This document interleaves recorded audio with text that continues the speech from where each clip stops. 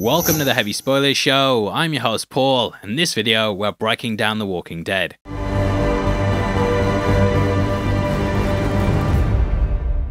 The Ones Who Live, episode 2 is out now, and throughout this video, we're going to be going through it all. Last week, I was a bit skeptical on whether I was going to cover it, but now I'm obsessed with walkers just like Gary Lineker.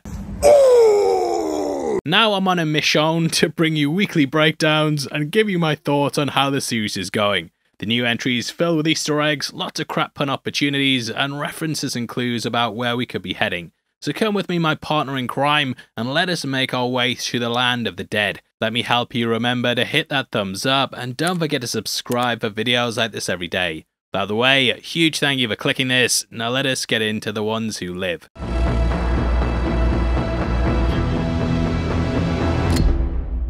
Now we begin with a herd of walkers and get focused on one carrying petrol and kerosene, wearing a t-shirt that says, Gas man let me help you.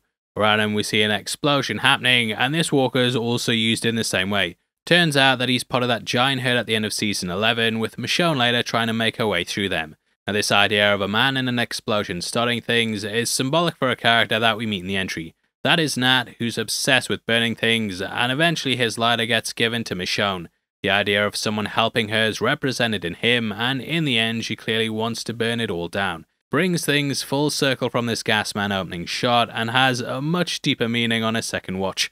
From here, we cut to the title sequence and then get a time jump that takes us to six years after the bridge. Delivering an oration, we see how Michonne somewhat mirrors Rick, as last week he told a story through the use of letters. Here we see as she recounts the main series, and we get clips from what we become. That episode dropped during season 10, and it was the 13th entry in the penultimate season. Michonne discovered his boots and the phone, which confirmed to her that Rick was still alive. We then had the scene where she rescued the pair, who we learn have taken her to their community. Michonne would then pop up during season 11, but we're filling in a hell of a lot here of stuff we didn't know. Now, due to Michonne's skills, they're desperate to keep her in the community, and it somewhat mirrors Rick in the Civil Republic.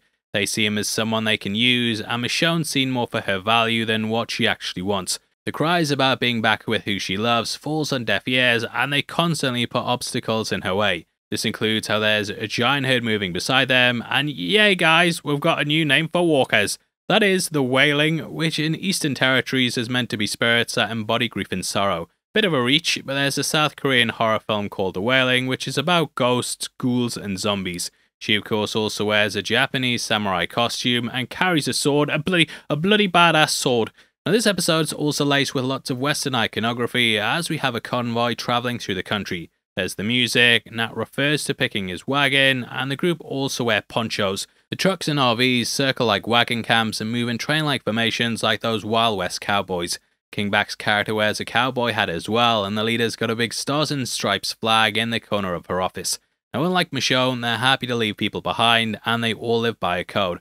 Got me wondering if that was something that was commonplace back then, because it was also something they did in Rings of Power. Now, not to bring that up, mate, because I, I know you guys might not like it, but then bloody Harfoot, they used to also leave people behind if they couldn't keep up.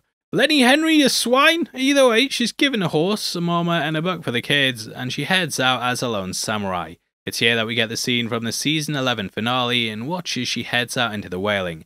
This herd's massive, and it reminded me of one of Alpha's, but we see how Michonne makes quick work of them. Using that rocket launcher that debuted last week, we see she's knocked off her horse by the gas man's head.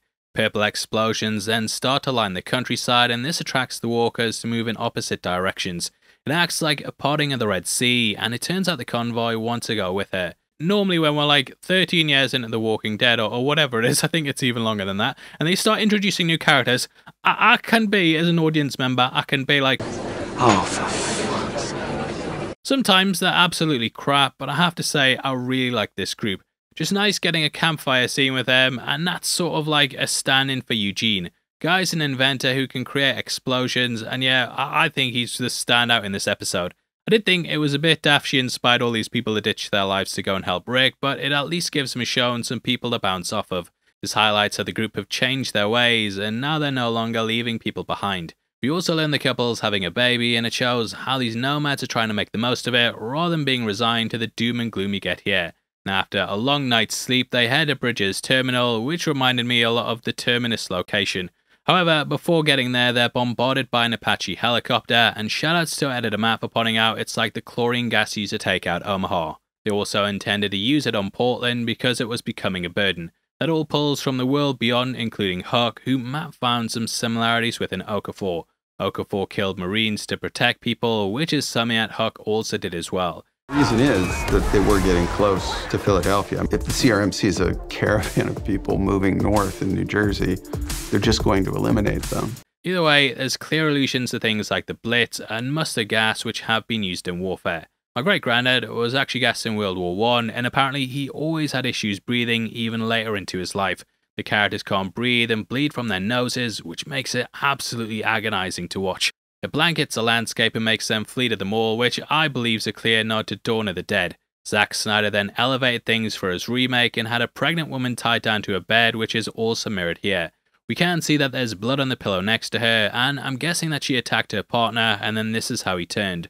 Really heartbreaking scene, and it shows how evil the CRM are as they fired indiscriminately against the group. Michonne finds them all turned a dead except for Nat, who's created a ring of fire with aftershave and perfume in order to protect himself. Plays into his backstory of creating fires and burning things, and he sparks up a lighter signifying how the fire helped him. We then get a scene in which Michonne recoups and recovers, and she uses an oxygen mask to help with her lungs. Clear that the pair start going stir crazy a bit, with Nat saying that this is all he's got. Michonne wants him to go to Alexandria, but he wrestles with this while sparking up his lighter. He says he knows how it will end while staring at the flame, and this could foreshadow the character's death in the future, in which he's shot while the forest burns around him.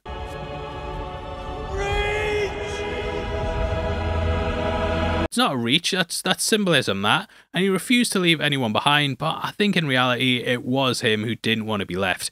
In the Walking Dead world, you have to work with others to survive, and I don't think any of them would have made it this far without somebody's help. Nat knows that, and thus he had to keep the others close, which I think's another similarity that he shared with Eugene.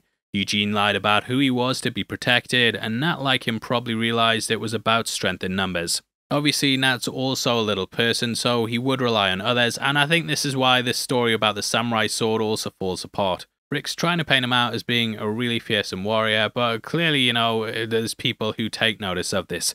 Again, it's really great character and casting, and it was kind of sad seeing how he went out. As they hit the road, we see they use walkers like menial workers, which might be a reference to the end of Shaun of the Dead. Coming across a cruise that used off a safe harbour, we see how the bodies have been piled up and burned.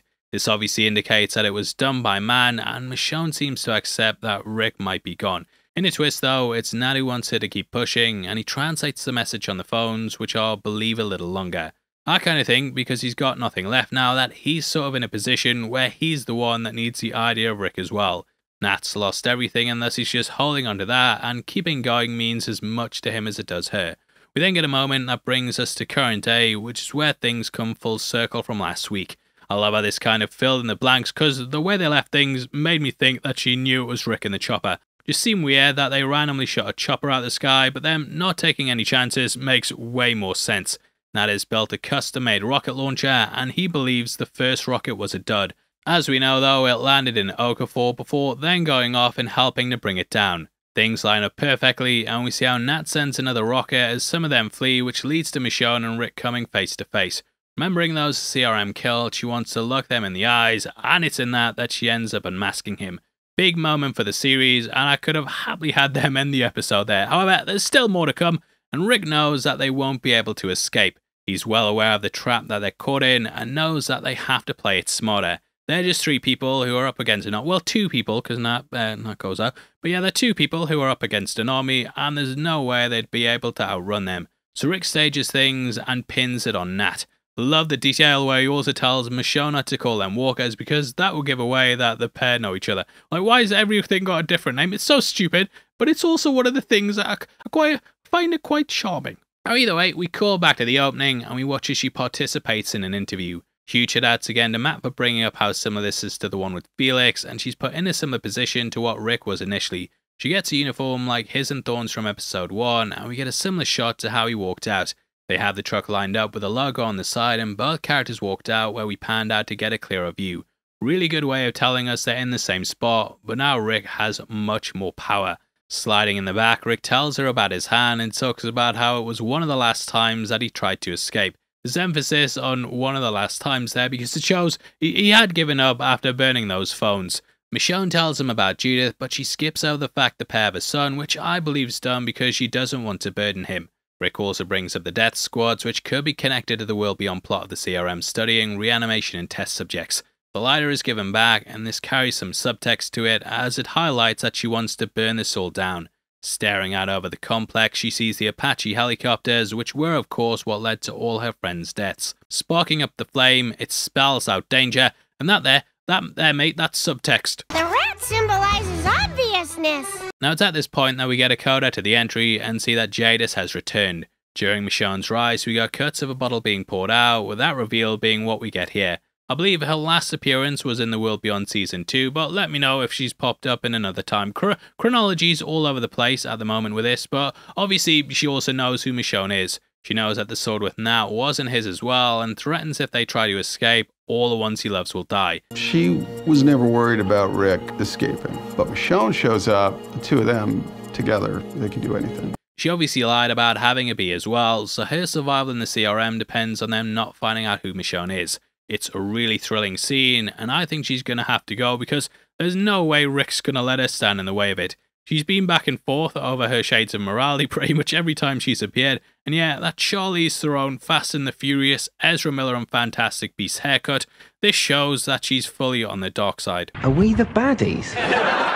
I know she had it in the world beyond as well, mate. I'm just saying, mate. It, it, uh, but it's a striking haircut. We'll, we'll leave it there. It's a striking haircut. Very, very, very military. So yeah, shut up, yeah. She's she's got to go, and I'm really excited to see what happens next. Just throws a curveball into it, and again, I really enjoyed this episode. I thought they might lose some steam after last week, but now they kept going, uh, and that it just paid off everything from that brilliant first one. It feels like the show's back on form, and I hope you guys have enjoyed our coverage too, and make sure you leave your comments below. Please drop a like on the video, and if you want to support the channel as a member of the Spoiler Society, then please click the join button. You get early access to videos every week, and it goes such a long way to helping us out. If you want to get some heavy spoilers merch, you've also got our t-shirts located just below the video that will let you pick up all kinds of tops like our Theory Time one, me and the boys, Loki, wh whatever you want. It's a go go support. So yeah, thanks for sitting through the video. If you missed our video last week, what the hell is wrong with you? Uh, but I'll let you off because it's on screen right now and you're going to go watch it. So yeah, huge thank you for clicking this. I've been your host, Paul. I'm going to see you next time, I hope. And yeah, you take care yourself, mate. Peace.